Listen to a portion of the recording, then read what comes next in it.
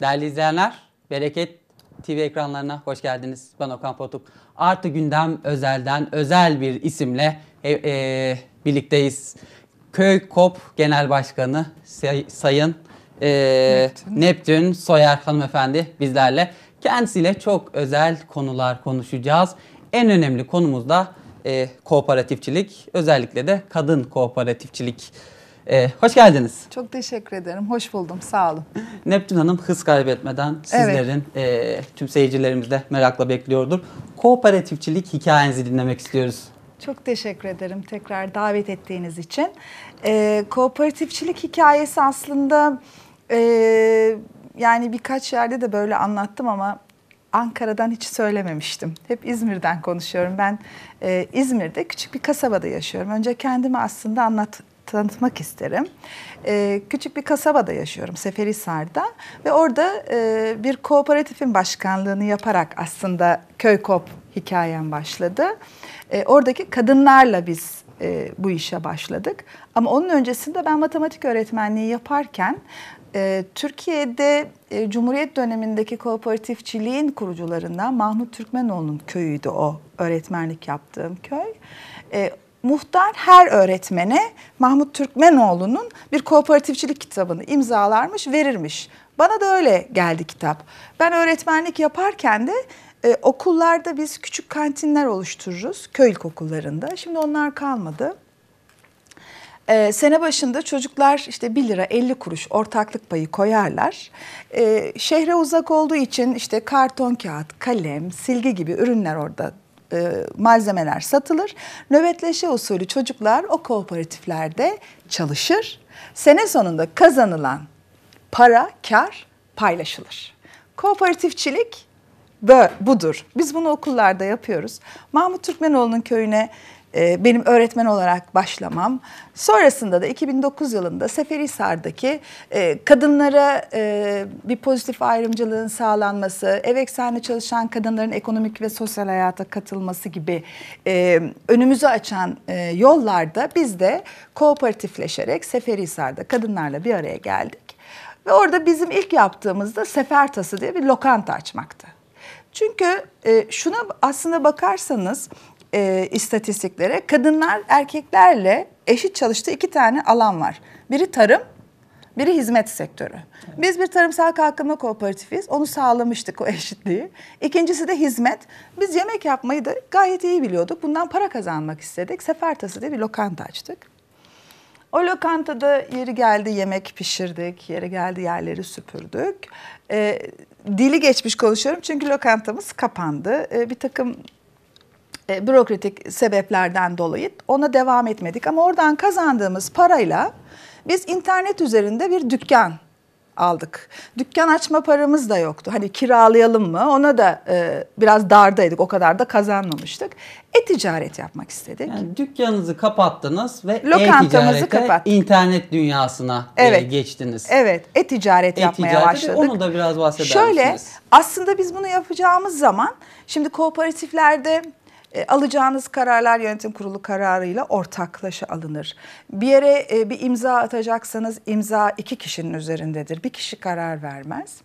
Şimdi biz internet üzerinden pazarlama bir de bizim bir e, tüzüğümüz var. O tüzüğe uygun hareket ederiz. Tüzüğü açtık. E-ticaret yapan maddesini bulacağız ki yönetim kurulu kararı alacağız. O tüzükte e-ticaret yapar diye bir madde yoktu. Ee, eski bir tüzük tabii ki yani 1900 kaçlarda yazılmış bir kooperatif tüzüğü. Güncelleme yapılmamış. Ee, biz onu uydurduk yani E'sini bulmadık, ticaret yaptık, işte kargoyla gönderir gibi bir takım şeyler var yani başka yere gönderebilir. Dolayısıyla biz bir dükkan açtık ama o zaman internet üzerinden, şimdi o zaman diyorum ama nereden bakarsanız bakın gene bir 6 yıldan falan bahsediyorum. Türkiye o süreçte çok yol kat etti. İnternet üzerindeki pazarlamacılıkta. Çok ciddi yol kat etti e-ticarette. Biz e, dükkanımızı açtık el yordamıyla. Çünkü bankalara gidip işte post makinesi alacaksınız falan E, ama sizin dükkanınız adres. E, adres kooperatif. E, neresi? Paketleme yerimiz. E, ama orası dükkan değil. Yani bunlarla da karşılaştık ama şimdi o sorunlar yok. Bir kargo firmasıyla anlaştık. Sayfamız seferipazar.com diye kooperatifimizin ürün sayfasıdır o. E, ve Türkiye'nin her yerine biz işte kurulduğumuzdan bu yana her şeyi gönderiyoruz. Ama bu her şey Seferihisar'da üretilen her şey ve zamanında. Bizim e, şeyimiz bu, politikamız bu. Zamanında e, yerinde üretimi herkes tüketsin istiyoruz. Biz bununla e, yaklaşık 5 sene önceydi galiba. Bize o dönemde e, Seferihisar Belediyesi destek vermişti bu internet üzerinden pazarlamada. Tabii yerel yönetimlerin kooperatifleri olan e, desteğinden faydalanmıştık. E, Seferihisar Belediyesi TÜSİAD ve Bilişim e, Derneği'nin her sene düzenlediği bilişim ödüllerini bizim projeyi Seferi Pazar e, projemizi sunmuş. Küçük ölçekli belediyelerin üzerinden biz Türkiye birincisi seçildik o projemizle. Ve o zaman e, mecliste ödülü işte e, Binali Bey sanırım başbakandı. E, Mehdi Eker bakandı. E, Sayın Ömer Çelik meclis başkanıydı. Böyle üçlü bir ödülümüz var yani. Güzel bir şey yapmıştık o zaman. Şimdi herkesi görüyorum ben. İnternet üzerinden pazarlayın. Size e, bir, hemen bir şey daha tamam söylememe tabii. izin verirseniz belki size de şey olacak, yardımcı olacak. E, bu sosyal kooperatifçilik e, treniyle Ticaret Bakanlığı bir şey başlattı. İzmir'e geldiklerinde Kooperatifçilik Genel Müdürlüğü e, Genel Müdürü şunu söylüyor. Ticaret Bakanı'nın e, yardımcılarından da biz bunu diyoruz. Kooperatifler internet üzerinden pazarlama yapmalı. Bu bakanlığın da bir politikası. Çünkü dünyaya baktığınız zaman artık Amerika'yı Avrupa'yı bir tarafa bırakıyorum ben. Onların e, bu döneme kadar gelmişleri hani 100 yıllar öncesinden bir şey tamamlamışlar. Ama uzak doğuya bakarsanız şu son 10 yıllarına geldikleri gelişmeye müthiş bir e, internet üzerinden pazarlama ticaret ağları var. Peki şu anki durumunuz ne? Satışlarınız nasıl?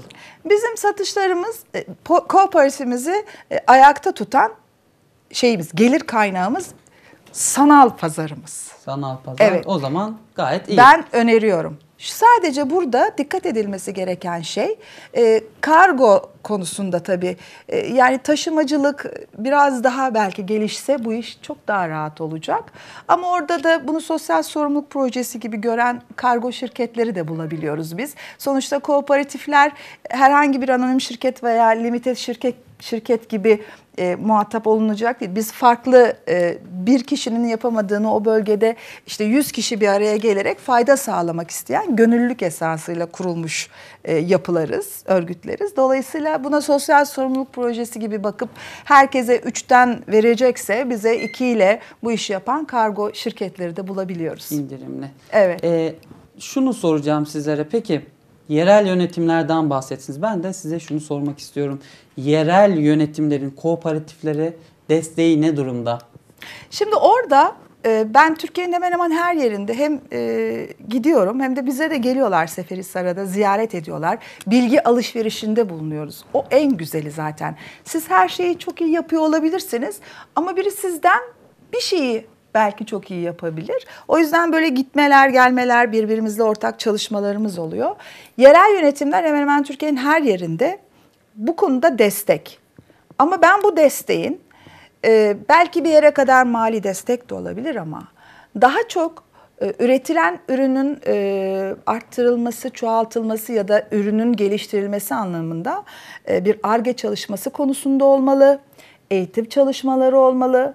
Yani bu desteklemeyi e, para vermek olarak algılamıyorum ben. Böyle olmamalı. Bir yere kadar yerel yönetimler sizi desteklemeli. Sonrasında o kooperatif ayakta durduktan sonra yoluna devam etmeli. Yani bir kooperatife yoğunlaşıp sadece onu desteklemenin de doğru olmadığını düşünüyorum. O zaman obez bir şeyden bahsediyoruz. Yani e, gücü alalım o şart gerçekten kolay değil. Kooperatifler 100 lira sermaye ile kuruluyor. 7 kişi. 700 lirayla hiçbir şey yapamazsınız. Bir destek olmalı ama bu destek sürekli olmamalı. Evet sürekli olmamalı. Çünkü Türkiye'de çok fazla kooperatif var. Ya ben İzmir için söyleyeyim. İzmir'de 200 küsur kooperatif var. 236 tane. Hadi bunun hepsinin çok aktif olmadığını da düşünseniz. Siz e, yani bunu ayrıştırabilirsiniz. Hani yağ yapanlar, e, işte üzümle uğraşanlar, balıkçılıkla uğraşanlar gibi kategorize ettiğinizde yardımınızı da nasıl yapacağınızı ya da hayvancılık ya da bitkisel dediğinizde belirli bir yere getirdikten sonra diğer kooperatiflerin de bundan faydalanması lazım. O önemli bir kaynak, önemli bir destek yerel yönetim. En iyi birbirimizi biliyoruz zaten. Ee, Bize en kıymetli destek yerelden gelecek olan destektir. Peki e, ülke geneline dönmek istiyorum. Tarım ve Orman Bakanı Bekir Pakdemirli kooperatifçiliğe önem verileceğini e, sık sık gündeme getiriyor ve e, destekler arttırılacak diyor. Bu konu hakkında ne düşünüyorsunuz? Şimdi bizim e, Tarım Bakanı'yla da bir toplantımız olduğunda evet aynı şeyleri söyledi. İlk sektörel toplantısını İzmir'de yaptı. Orada da aynı şeyi söyledi. Hatta ben çok üstüme alındım. Böyle bana dönerek söylemişti. Önde oturuyorduk. E, o, e, şunun farkındalar. Çünkü dünya böyle. Sadece Amerika'da, Avrupa'da, Uzak Doğu'da değil Afrika'da da ekonomik ve sosyal kalkınmanın en önemli adımlarından biri kooperatifleşme. Çünkü siz herkese en ufacık yerde bir kalkınmaya destek olamayabilirsiniz birer birer. Siz oradaki topluluğa kooperatif kanalıyla destek olabilirsiniz. Bu aslında devlet politikası da olmalı ve onun da işini kolaylaştıran bir şey. Fakat e, yapılarımızda bir dönem şey olmuş nasıl diyeyim yani kirlilik diyorlar ben onu kabul etmiyorum. Kooperatifçilik ne kadar çok olursa kirlilik değil de yapımızda e, örgütlenmede yatayda e, çok ciddi bir büyüme ortaklar az çünkü kırsalda e, nüfus az. Anlatabiliyor muyum? Çok kooperatif az ortak çok e, genel merkez çok başkan. Şimdi e, bir önceki bakanımız Sayın Fakı Baba'ya ben bu örgütlenmenin bir çözümlenmesi ve bunu da bizlerle beraber aynı masada bir erkin yapması yani bir e, Tarım Bakanlığı'nın işte Ticaret Bakanlığı'nın yapması gerektiğini dediğimde çok haklısın dedi. Şurada dedi seslensek başkanım diye bütün salon dönecek başkanım diye dedi.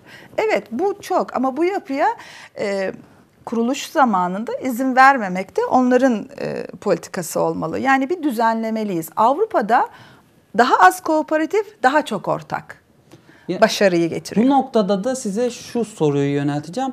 Ee, çok fazla kooperatif var ama aktif kooperatif sayısı az. Daha az. Da, yani sebebi ne? Kooperatif açılıyor ve işlevi olmuyor. Neden? Bazı kooperatiflerde ben bu destekleri alayım sonra bakalım ya Allah kerim Kötü falan. niyetli bir Ya olabilir. Ben şimdi buradan tabii kimse için e, yani kendim için konuşabilirim. Kendi yaşadığım yerden de örnek verebilirim. Ama Köy Kop Genel Başkanı olunca Türkiye genel içinde bir şey söylemek isterim. E, bunlar kooperatifçilik bir e, devlet politikası olmalı. Ee, şöyle söyleyeyim size. Türkiye'de kooperatifçilikle ilgili muhatap olduğumuz 3 bakanlık var ama bakın şimdi önümüzdeki hafta e, bir çalıştay olacak. İşin içinde kadın da girdiği için kadından sorumlu aileden aile politikaları mı? Şimdi tam sosyal topa evet. Şimdi o da işin içine giriyor. Siz bunu tek başınıza bu kooperatifçiliktir. Bu yasayı çıkarırım. Bu da ilgilenir diyemiyorsunuz ama Avrupa'daki örneklerine baktığınızda ve başarılı olan ülkelere baktığınızda mesela Almanya ile bizim eğitim çalışmalarımız var. Almanya'da e, kooperatifler hiçbir bakanlığa bağlı değil. değil. Şimdi bizim sosyolojik yapımız buna müsait değil. Biz isteriz. Biriz, bir, yani biz birinin başımızda olmasını isteriz. Onu sadece hani olabilirliğini söylemek istiyorum. Ama e, yasada tek. Bizde öyle değil. Üç tane bildiğim yasa var da ama onun altında o kadar çok şey çıkmış ki. Biraz şöyle bir toparlamaya ihtiyacımız Biraz var. sadeleşmeye ihtiyaç var Evet, ihtisaslaşmak yani en iyi olduğumuz konularda daha güçlenmek işte fındıktır, pancardır, süttür falan gibi. Biraz ama bunlarla ilgili çalışma yapıldığını biliyorum. Dediğiniz gibi sadece Tarım Bakanı değil, Ticaret Bakanı da bu konuda e, yani Arif Seymenoğlu'nda bizim Kooperatifçilik Genel Müdürlüğü mesaimiz oluyor. Onun ağzından da bu işin bir düzenleneceğini duyuyoruz. Önümüzde bir çalıştay olacak. Kadının kırsalda güçlenmesiyle ilgili bir takım şeyler yapılacak kooperatifleşme içinde. E, niyetler iyi. İnşallah sonuçlar da iyi olacak. Peki şimdi özele dönmek istiyorum. Kadın başkan olmak nasıl bir duygu? Şimdi şöyle söyleyeyim. E, Köykop için konuşacağım. Sonra geneli de söyleyeceğim Evet. size. Köykop'un İzmir'deki de ilk kadın başkanıyım ben. Bizim logomuz, e, ben tabii keşke size onu şey verseydim yayından önce ama kadınla erkeğin el ele olduğu bir logo. 1971'de bu logo, bu vizyonla yapılmış. Hatta çok daha eskidir. O, yani Osmanlı'dan gelen bir kooperatifçilik anlayışımız var bizim. Yeni değil yani. O zamanlardan da kadınla erkek hep bir arada görülmüş kooperatifte. Fakat yönetim de şu masada karar alınacağı zaman kadının aslında biraz da ben sadece bunu erkeklere de şey yapmıyorum. Ev işleri hep bahanesi olmuş. Çocuk sorumluluğu hep daha ön önde olmuş kadının. Nasıl olsa bey kararı alıyor köyde denmiş. O yüzden de hiç o masalara şey yapılmamış, gelinmiş, oturulmamış. İzmir'de de ilk başkandım. Türkiye'nin de genel başkanı olarak ilk e, kadın genel başkan oldum. Tarımda ama diğer kooperatiflerde de yok. Yani su ürünlerinde de yok, Haykop'ta da yok. E, ben hiçbirinde kadın başkan görmedim. Yönetimde de çok görmüyorum. Az. Ama şunu söylüyorum. Bu ülkenin aydınlık geleceği kadınsız olmaz. Kesinlikle. Mümkün değil. Nasıl bir duygu? Müthiş gurur duyuyorum. Ee, beni seçtikleri için de bütün erkek e, ortaklarıma teşekkür ediyorum. Hiç kadın, ha, iki tane kadın oy aldım. O da kendi kooperatifimizden de. Diğer bütün oylar erkeklerden geldi. Peki genel başkan olmanızla birlikte e, nasıl bir fark ortaya koydunuz önceki dönemlere göre? Şimdi onu e, fark koydum demek bana düşmez. İnşallah e, koya koymuş olurum ve sonrasında söylenir benim için. Ama ben yapmak istediklerimi e, yani bir vizyon, misyon ve bir yol haritasıyla sadece ben değil tabii ki yönetimle beraber biz beş kişiyiz. Evet bir genel başkan ama bütün kararlar ortak alınıyor. Birincisi e, örgütün daha bir arada olma, bizim gönüllülük esasımızın yerine getirileceği bir arada olmayı becerebilmek ve olmak. Biraz tabii farklı illerdeyiz. O yüzden öncelikle biz diğer illerimize mesela ortaklığımızı güçlendirmek zorundayız. Bir şey okuyacağım. Bugün bir e, gıda, tarım ve beslenme ile ilgili bir zirvedeydik. Çok güzel bir cümle söylediler. Bizi o kadar güzel ifade ediyor ki not alıp gelmiştim. Tam böyle bir araya gelmek bir başlangıçtır. Beraberliği sürdürmek bir ilerleme. Beraber çalışmaksa gerçek başarıdır. Henry Ford'unmuş bu.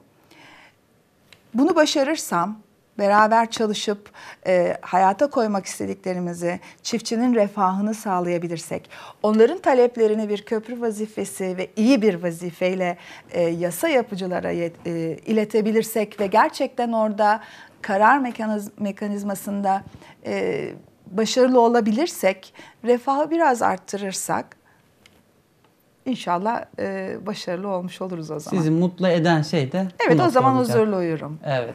Peki bu e, konuya girmişken şunu da sormak istiyorum. Projelerinizle çiftçilere nasıl dokunuyorsunuz? Biraz projelerinizden bahsetmenizi Şimdi ben tabii isteyeceğim. o kadar e, yani genel başkanlıkta nasıl biliyor musunuz? Daha 3 ay oldu herhalde. Ama şimdi ben şunu düşünüyorum. Bu e, başkanlık hikayesi ve yönetimler. Bir kere kendi kooperatiflerimizde kendi sorumluluklarımızı yani benim İzmir'de ve Seferihisar'da kendi sorumluluklarımı diğer kooperatif ortaklarımla ve başkan yardımcılarıyla paylaşmış olmam lazım ki ben genel merkezde diğer illere de fayda sağlayayım. Bir kere ben bunu sağlayarak buraya geldim. Yani benim kendi kooperatifimde çok fazla illa orada olmalıyım. Çünkü bunu ben görüyorum. Ya bir toplantı yapacaksınız mesela. Ya ben şimdi ilden ayrılamam. Niye? İşte süt falan en zor hikaye zaten o. Süt hikayesi. Dolayısıyla ben e, bu projeleri bir kere proje fikir çok. Ama bunları yapacak, bunları yazacak, hayata geçirirken bizim hizmet almamız lazım. Bir kere onlarla bir araya geliyoruz. Ee, biz kimiz? Onun iyi tanımını yaptık. Biz kimiz? Neyi yapabiliriz ve kimlerle yapabiliriz? Şimdi bir kere yeni bir hükümet sistemi var ve yeni bakan var. Ee, şimdi herkes kendi görevini bence değiştirdi. Yani bu sistem içinde herkes bir görev tanımını yaptı. Biz de açıkçası o görev tanımından sonra bize doğru akacak bilginin, e, faydanın zamanını bekliyoruz. Bence artık o kıvama gelindi herhalde artık. Çünkü bizim e, bakanla olan toplantımızda mesela bundan bir iki ay önceydi.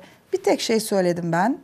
Bir, biz Haykop'la gitmiştik. Sayın Ahmet Ertürk'le beraber onun ekibiyle ve yönetimiyle iki yönetim gitmiştik. Bir şunu söylemiştik biz Sayın Bakan'a.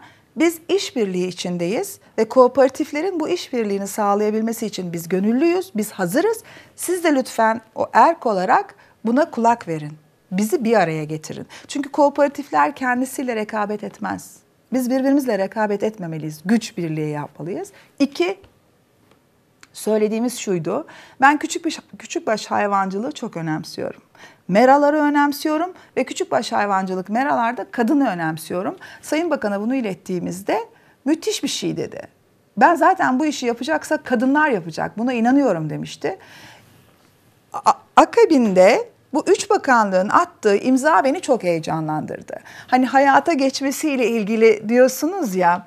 E, dolayısıyla internet üzerinden pazarlamayı e, ortaklarımızla daha yaygınlaştırabiliriz.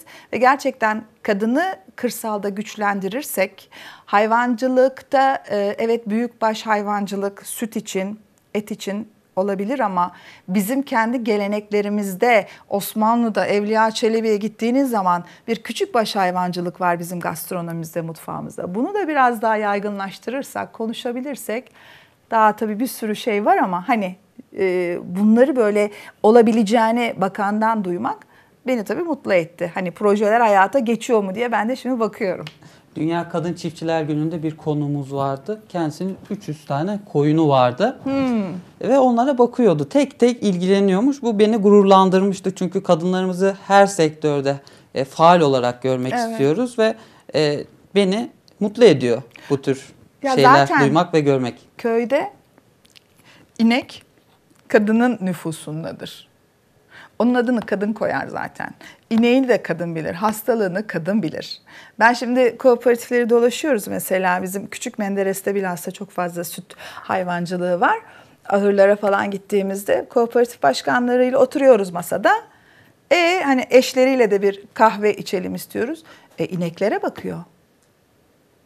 Anlatabiliyor muyum? Kadın kadın alanda, kadın kadın masada da aynı destekle beraber çalışırsak zaten her şey çok daha iyi olacak. Kadının elinin değmediği e, yer hiçbir, kalmasın. Hiçbir yer yoktur ki bereket fışkırmasın. Kadının evet, değdiği her güzel. yerden bereket fışkırır. Çok güzel. Değerli izleyenler, kısa bir reklam arasından sonra sohbetimize devam edeceğiz. Lütfen bizden ayrılmayın. Değerli izleyenler, Artı Gündem Özel, özel bir konuyla kaldığı yerden devam ediyor. Köykop Genel Başkanı Neptün Soyer konuğumuz. Kendisiyle çok önemli ve e, değinilmesi gereken konulara değiniyoruz. E, bir farkındalık yaratmaya çalışıyoruz. E, kaldığımız yerden devam edelim isterseniz. Kırsalda kadından bahsetmenizi rica edeceğim. Evet. Kırsalda e, kadın olmak nasıl bir şey ve akabinde de kırsalda kadının e, desteklenmesini, nasıl evet. desteklendiğini sizlerden rica edeceğim. Şimdi kırsalda kadının e, güçlenmesiyle ilgili aslında çok güzel çalışmalar da yapılmış. E, bir dönem öncesinde, daha doğrusu Mehdi Eker zamanında, Sayın Mehdi Bey'in e, döneminde çok ciddi bir kırsal kalkınma, e, kırsalda kadının güçlenmesi çalıştığı ve e, müthiş bir e, kurum şeyi çalışması olmuş. Üniversiteler, STK'lar, e, hükümetin, devletin birçok bakanlığı, e, Sonra 2017'de buna bir takım eklemeler yaparak tekrar. Şimdi bununla ilgili çalışmalar yapılıyor. Kırsalda kadın zor. Aslında kırsalda yaşantı zor. Yani kırsalın tanımını aslında böyle herkes çok tam yapamıyor. Kırsal nedir? Ama Türkiye'ye baktığımızda kırsal biraz işte e, daha ekonominin düşük olduğu, işte eğitime ulaşmanız, sağlık hizmetlerine ulaşmanızın zor olduğu, işte köy hayatı, daha daha gibi falan değil mi? Böyle tanımlanabilir. Evet. Dolayısıyla kadın işte o gene sorumluluğunun e, getirdiği hayat şartlarına uymak kırsaldan aslında kente göçüş de biraz kadınla olmuş. Yani kadın kırsalda kendisini değil aslında ailesini e, zor da gördüğü için, çocuklarının eğitimini daha eksik gördüğü için, hastalanırsa burada hastane yoksa ben ona nasıl iyi bakarım diye tasalandığı için kente bir göçüş. Benim hani nacizane bu görmem. Yani kente göçüşte kadın var. Ben aslında orada kırsalda kadının güçlenmesi önce kırsalın hayatı kırsaldaki hayatı düzenlememiz gerekiyor. Eğitime, sağlığa, sosyal hayata kadının ulaşabileceğine inandırmamız gerekiyor. Ve zaten kırsala dönerse ekonomik olarak ekeceği, biçeceği bir toprağı var. En kıymetli şey o kadar e, bereketli topraklarımız var ki milattan önce 12 bin yıllarında söyleniyor Göbekli Tepe dünyanın tarımı keşfettiği ve o tarımı keşfeden de kadın zaten. Kadın o zaman başına şey yapmış canım belayı almış. Ekmeği o zaman yapınca bütün ev işleri onun üzerine kalmış. Kırsalda kadını güçlendirmemiz için önce kırsal hayatın şartlarını biraz güçlendirmemiz gerekiyor. Kırsal dönüşüm lazım o zaman. Kırsal dönüşüm. Şöyle bir şey var kırsalda. İşte kadın hep ben ev işlerinden, çocuğumdan, tarlada çalışamıyorum, ev işlerinden vakit bulamıyorum. O Mehdi Bey'in çalışmasında şöyle bir şey var. Ben ona bir kelime de eklemek isterim tabii ki.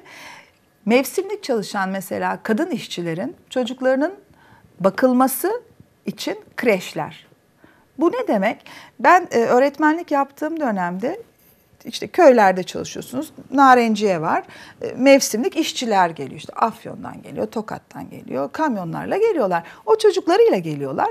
İlk öğretim e, de e, öğretim görecek olanlar bize geliyor. Ama 3 yaşında 4 yaşında olan çocuk nereye gidiyor? Annesinin sırtında tarlaya gidiyor. Ama onun yaşıtları kreşlerde eğitim görüyor. Şimdi bu o kadına yaptığımız bir şey değil. Bu bizim bu ülke için, bu ülkenin kalkınması için yapacağımız bir şey. Bizim bir devletin güçlenmesi için yapacağımız bir şey olmalı. Ee, Bizim o kreşleri nasıl düzenleriz bilmiyorum. Fabrikalar üzerinden, çalıştıran fabrikalar üzerinden mi yapılır? Bir devlet politikası, politikasıdır, kaymakamlık üzerinden. Siz burada çalışırken çocuklarınız kreşte kalınır mı denir? Ama kadının üzerinden o çocuk yükünü almamız lazım. Ki kadın da ekonomik hayata katılsın. Hem kadın hem erkek çalışsın ve ekonomi güçlensin. Bir de kadının bu e, gene kırsalda güçlenmesiyle ilgili beni ilgilendiren kısmı kooperatiftir tabii ki. Kooperatifler de o yaşanan yerin güçlenmesini sağlayan yapılardır. Kooperatiflerin yönetim yapısında bu gene Mehdi Bey'in çalıştayında kendi imzasını attığı bir şey. Ee, yönetimlerde kadın kotası koyalım demişler. Yani tavsiye. Ben bunun önüne şöyle diyorum yani süreli olmalı bu. Hani çünkü ben çok fazla bir şeyin başına böyle sürekli bir pozitif ayrımcılığı yani pozitif ayrımcılığı neden yaparsınız? Bir şey becerirsiniz, başarırsınız ondan sonra o biter artık. O ayrımcılığın da bir sonu vardır. Kadının da e, pozitif ayrımcılığını bir yerden sonra güçlendirdikten sonra fermuar sistemiyle kadın erkeğin bir arada olacağı yönetimleri oluşturmamız gerekir. Kırsalda o zaman sadece kadını değil, kırsalı güçlendirmiş olacağız. Aile yapımızı güçlendirmiş olacağız. Kim kazanacak? Memleket kazanacak. Birlikten kuvvet doğan bir sistem. Evet. Evet. Peki e, bir gazeteci olarak ben e, kadın girişimcilerin hikayelerini anlatmak bana çok gurur veriyor ve bol bol da bu hikayeleri Hı-hı. anlatmaya ekranlarımızda gayret gösteriyorum. Bununla bağlantılı olarak size şu soruyu soracağım. Siz tarımsal e, kalkınma, kalkınma kooperatifsiniz. Bir de kadın kooperatifleri var. Şimdi bunun ikisinin arasındaki fark ne? Ve Türkiye'deki kadın kooperatiflerin durumu ne? Evet. Şimdi şöyle tarımsal kalkınma kooperatifleri baştan beri anlattığım logosundan da anlayacağınız gibi kadınla erkeğin bir arada ortak olabileceği. Bizim kooperatiflerde biz üye demeyiz. Üyelik başka bir şeydir, ortaklık başka bir şeydir. Ortaklık başka bir ruh getirir oraya. Biz ortak oluyoruz kooperatiflerde birbirimize. Ee, biz kadın erkeğin ortak olduğu kooperatiflerin yapısından geliyorum ben. Köy koplar o yapılar. Biz Tarım Bakanlığı'na bağlıyız. Tarım ve Orman Bakanlığı'na bağlı çalışıyoruz. Ama kadın kooperatifleri yani başında kadın olanlar Ticaret Bakanlığı'na bağlı olarak hareket ediyorlar. Ee, sadece e, ortakları kadın. Onların çalışma alanları şimdi tarımsal faaliyet de yapmak isteyen kadın kooperatifleri görüyorum ben. O zaman diyorum ki niye başına kadın koyuyoruz da bu kadın kooperatif oluyor? Bak çünkü şimdi İzmir'e gene örnek vereceğim ya da Ankara'nın bir kasabasında işte üzüm varsa pekmez yapacaksa, siz orada kadın kooperatifi kurup işte halıcılık varsa, e bir yandan da kadın şunu düşünür, kadın peyniri yapar, suyundan başka bir şey yapar. Yani kadın öyle e, yaratıcı. E diyecek ki üzümden de pekmez yapacağım, ben kooperatifim yapabilir miyim? Şimdi Ticaret Bakanlığı'na bağlı olduklarında bu bir tarımsal faaliyet. Hadi tüzük mü değiştireceksin, anayasa, ana sözleşmeni mi değiştireceksin? Şimdi ama ben burada e, Ticaret Bakanlığı'yla hiç şeye girmek istemem. Bu başka bir şey. Yani bu olmalı mı? Şimdiye kadar olması gereken bir şeymiş ki artık kooperatifçilik çok daha yaygın. E, çok daha fazla konuşuluyor. Anlamı çok iyi anlaşıldı. Ama bu işi demin ilk başta söylediğim kooperatifçilikle ilgili Tarım Bakanlığı mıdır bu ülkede sorumlu? Ticaret Bakanlığı mıdır? Yapı kooperatiflerinden dolayı Çevre Bakanlığı mıdır? Kadından sorumlu, işte aile politikalarından sorumlu devlet bakanı mıdır? Kimdir? Sorusuna geliyoruz. Kadın kooperatifleri bizim yapımızdan biraz daha farklı. Sadece kadınlar e, onların durumunu e, onların da kendi bir üst örgütlenmeleri var. Onlar da kendi e, çalışmalarını sürdürüyorlar. Ama birbirlerimizin top ben onların toplantılarına daha çok gidiyorum, katılıyorum. Kadın oldukları için ben de kadın olduğum için birbirimizle dayanışma içindeyiz de. E, ama şunu duymaya başladım. E, ben de zeytinyağı yapacağım diyor. O zaman e, Ticaret Bakanlığı buna nasıl bir e, yol bulacak bilmiyorum. Ama biz böyle farklıyız. Ama e, şeyimiz kadının güçlenmesi. Kadının güçlenmesi. Anladığım kadarıyla bir eksiklik var genel olarak. Ee, eksiklik mi diyelim? Bir, yani eksik değil herhalde. Bir karmaşa. Karmaşa mı desek? Ya kadın kooperatifleri de kendi güçlenmelerini sağladıklarını düşünüyorlar ama işte şu noktada diyorum ya zeytinliğim var zeytinyağı yapacağım diyor. Bir tıkanma. E ama işte o zaman tarımsal faaliyete giriyor. Evet evet öyle. Kadın girişimciler dedik. Türkiye'deki kadın girişimcilerinin e, nasıl bir artış sağlandı veya bir artış var mı? Gözleminiz var. nedir? Var var. Kadınlarla ilgili hepsi ama bunların hepsi hani e, demin de şimdi kadın kooperatifçiliğini hani böyle mi olmalı öyle mi olmalı derken iyi ki var. İşte kadınlar daha çok birbirlerinden haberdar oldular. Bakanlık buna daha çok e, eğildi. Projeler açıklanacağı zaman şunu yaptılar. E, başında kadın varsa, bütün uluslararası arenada da bu böyle. E, kadınla ilgili bir proje yazıyorsanız zaten oradan başka bir puan alıyorsunuz. Yani Amerika'dan da aynı ses çıkıyor. Kadınların daha çok e, desteklenmesi. Avrupa'dan da aynı ses çıkıyor. Bizden tabii daha çok çıkıyor. Biz e, hani yapımız, sosyolojik yapımız da aslında biraz daha kadın hep geride kalmış ama artık öyle değil. E, şunu anladık. Beraber üretmek zorundayız. Ticareti beraber yapmak zorundayız. Şu geçirdiğimiz dönemde e, tek başına bunun altından kalkılmıyor yani. Beraber kalkmak zorundayız. El ele hani e, Türk malı şeyi var ya. Evet. İşte bir kadın bir erkek eli mi olsaydı deseydim orada. Birlikte olmak zorundayız. Değil mi? O ilk başta okudum gibi. Beraber çalışmak zorundayız, beraber üretmek zorundayız ve sosyal hakları da beraber almak zorundayız. Bizim biraz da söylemimiz bu. Ee, ben e, çiftçi kayıt sisteminde işte zeytincilik, mandalinacılık biraz böyle işte yaşadığım yerden ötürü şey, benim üstüme çiftçi kayıt sistemi. Genellikle öyle değil. Erkeğin üzerinden. Çiftçi kayıt sistemi erkeğin üzerinden olduğunda sosyal haklar işte Bağkur'udur, e, işte tarım Bağkur'u erkeğin üzerinden gidiyor. E tamam diyor erimin üzerinde. Öyle yani e tamam erinin üzerindeyse benim üzerimde de olabilir. O bana bakıyor ben de ona bakarım. Bakarsın. Sorun yok. Şimdi e, bir de şunu sormak istiyorum. İzmir, e, İzmir'den seçilmiştiniz. İlk, evet, İzmir'de yaşıyorum evet. ben. Peki İzmir'de kooperatifçilik nasıl? İzmir'deki kooperatifçilik Türkiye'deki kooperatifçiliğin en iyi olduğu yer. Ya bu, bu noktaya değinecektim. Hani Türkiye'den farkı ne? Bir kere orada e, kırsalda nüfus daha fazla. Bu bir. Bu önemli. Siz orada e, tarım faaliyetlerini sürdürüyorsunuz. Kırsalda nüfus olduğu için hala toprağına, yerine, yurduna sahip çıkan köylüsü var, üreticisi var. Dolayısıyla bunlar bir araya gelip kooperatif kurabiliyorlar ve aynı zamanda da yerel yönetimlerin desteğini doğrudan rahatlıkla alabiliyorlar. Ama onun biraz daha yayılmasından yana olduğumu da başta söylediğim gibi. Bunların hepsi bir araya geldiğinde kelebek etkisi olmaya başlıyor. Siz iyi bir örneği gördüğünüz zaman onun ekonomik olarak güçlendiğini gördüğünüzde aynı şeyi siz de yap, yapmak istersiniz. Siz de güçlenmek istersiniz. Siz ona destek olduğunuzda kooperatifler arası ilişki dolayısıyla bu bir başarıyı getiriyor. İzmir o anlamda bir arada bir şey yapmayı daha iyi becerebilen bir şehir.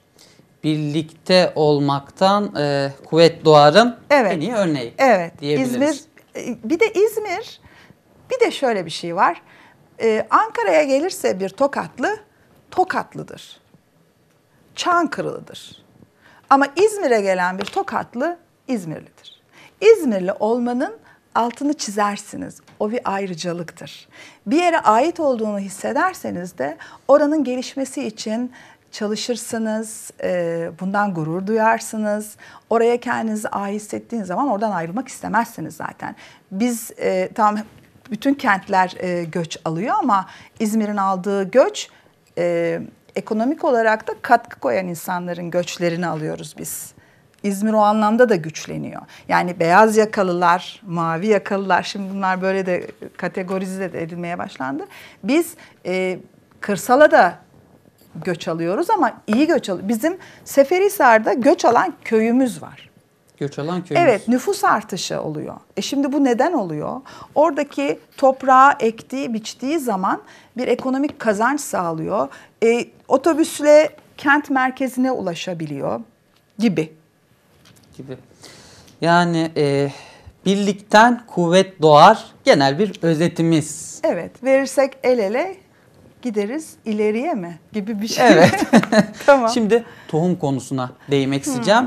E, çünkü yerel deyince e, tohum aklıma gelir benim. Yerel tohum, E, evet. Evet yerel tohumlar çünkü önemlidir. Bir değişikliğe gidildi bu konuda. Bu bu konuda ben sizin e, fikrinizi öğrenmek istiyorum. Şimdi çünkü bu- önemli bir konu. Evet, ata tohumlarından e, geçen 2-3 hafta, bir ay olmadı herhalde. Çiftçi kadınların e, bir ödül töreni vardı. Sayın Emin Erdoğan e, toplantıyı açarken e, hanımefendiler dedi konuya başlamadan önce sizlerden bir şey rica edeceğim. Ata tohumlarımıza sahip çıkalım dedi. Şimdi biz bunu e, birçok yerde aslında ata tohumuna sahip çıkmakla ilgili insanların da bir derdi ol- oluştu. Şu son 10 yılda daha çok konuşuyoruz. Dernekler oldu, takaslar yapılıyor. Ama e, yani şimdi yerli tohumun satışıyla ilgili bir takım şeyler var e, yasada. Yas- yerli tohumu satamazsınız. Çünkü onların ben çok bil şey e, ben sadece yerel işini biliyorum. Bunun e, yasadaki şey, şeyi biliyorum. Yerel tohum satılamaz. Takas yapabilirsiniz. Ama ben tohumla ilgili şöyle yaşıyorum. Bir köye gidersiniz. Sende fasulye var mı der. Var der. O sana fasulye verir. Dur ben de sana mısırlarımı vereyim. İşte bunu yaşıyoruz biz. Ama devletin şu an e, hükümetin söyleminde biraz daha farklı şeyler var galiba. Ata tohumlarının da tekrar tescillenilmesi, tescillendirilmesi ve öyle pazarlanması gibi. Tam okumadım onu. Ama bu çok kıymetli bir şey. Yani bunu duymak şu an ata tohumumuza sahip çıkalım. Ata tohum. Ya, Kayseri'de ben e, oradaki çiftçi kadınlarla bir mesaimiz olmuştu bizim. Biz tohumu anlatmıştık. Kayseri İl Tarım Müdürlüğü bu konuyla ilgili bir çalışma yapmış. Bana çok güzel bir e, sandık göndermişlerdi. Tohum sandığı. Bayılmıştım. Hala o tohumları aslında dikmem lazım, çoğaltmam lazım. Bir domates vardı, biber kıyamıyorum. Aslında toprakla buluşması lazım. Tohum e, bir yerde saklanacak, bankaya konulacak bir şey değil bence. Toprakla buluşacak, çoğalacak. Bir laf vardır Anadolu'da, dikim tohum e, serperken kurda kuşa aşa diye atarmış eskiden. Böyle Evet. yaparlar. Yani tohum sadece bana ait bir şey değil. Ben serpiyorum onu.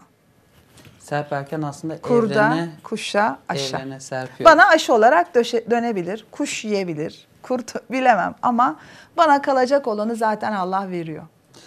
Şimdi köy kopa tekrar döneceğim. Ee, şimdiki yapısıyla e, bir değişikliğe gidildi sanırım m, bayağı bir önce. Yani hani gücü şu anda nasıl köy kopun? Şimdi kooperatiflerin güçleri bu çok e, dağınık yapımızda açıkçası hiç birbirimizden farkımız yok. Çoğumuzun gücü düşük. Neden? Ee, güçlü olabilmeniz için çok iyi yönetimlerin yanında, çok iyi gönül vermişlerin yanında da biraz da maddi olarak e, ayağınızın yere basması lazım. Bu ne demektir? Daha iyi bir ofiste, daha iyi elemanlarla, daha iyi ekiplerle hizmet almanız, projeleri yaparken daha rahat çalışmanız gibi düşünebilirsiniz. Bizim şu an o kadar bir gücümüz yok. Bunun için ne olmalı?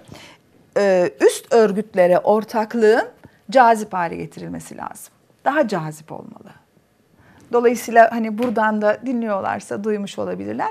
O yüzde birlikler, yüzde sıfır onda beşlikler her neyse bizi maddi olarak güçlendirecek olan şey biz o projeleri daha rahat yapabiliriz. Daha bizden e, en ücra köşedeki köye kadar gidebilir. Merkezde yapılacak bir şey bütün e, organlarımıza rahatlıkla ulaşabilir.